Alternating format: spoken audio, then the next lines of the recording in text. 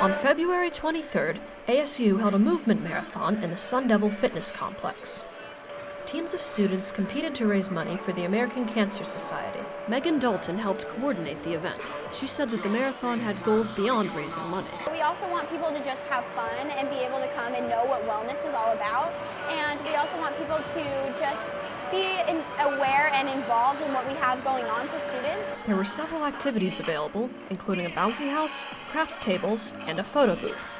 My favorite part of this event is probably the photo booth just because there's so many interactive activities that you can do. It's really fun and there's a lot of little things that you can use to um, make funny faces with or you can put hats on. Another highlight were the hamster balls. People would climb into these clear inflatable orbs and run into each other at top speed.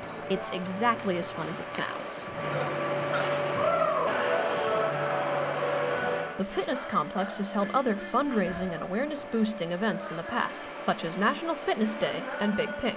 We tried to raise money for American Cancer Society, but specifically breast cancer. We have a lot of pink themed things. People can learn about breast cancer and bring awareness. We had we definitely had an obstacle course like this one. Follow the fitness complex's Facebook or Twitter page to stay up to date on upcoming events. Reporting for Cronkite News, I'm Mark MacKrell.